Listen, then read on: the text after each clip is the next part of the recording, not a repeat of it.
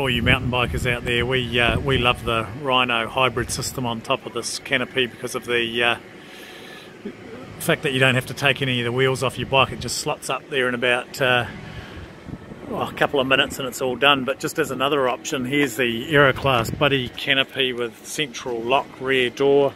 Um, it has a uh, this one has a slider in the back. This is my bike. Uh, it's a 29er.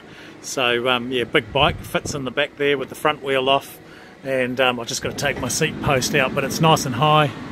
I can slide the whole bike out on the slider. And um, yeah, it's got a Rhino locking system up there. Um, I can lock this off on the slider so it's nice and safe.